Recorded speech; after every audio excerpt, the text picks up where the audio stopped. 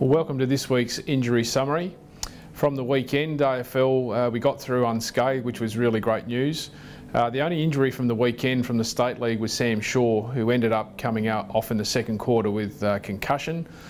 So seeing that we've got a uh, no game this weekend, uh, we'll go through the normal protocols with concussion, uh, as we have done with a number of other players, and fingers crossed that Sam will get up for the following state game.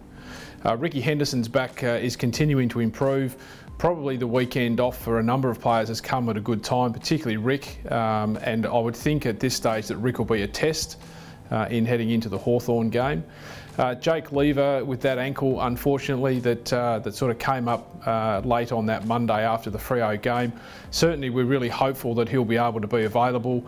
Uh, again, like Ricky Henderson, he'll be a test, uh, and we're we're confident that that will nearly be right by the time we get to that Hawthorn round. Luke Lowden was obviously ill last week, as well as that Achilles. It's been a little bit of an ongoing issue for him. certainly on the improve, and with a bit of luck. If we can get him through next week's training, uh, then we're likely to have him back for next uh, state league game as well. Uh, on some good news, uh, great to see Brad Crouch and uh, Richard Douglas through the state league game. Both played well, um, and I dare say that they've uh, started to put their hand up for the following game on Hawthorn. So that's the wrap of our injuries for this week.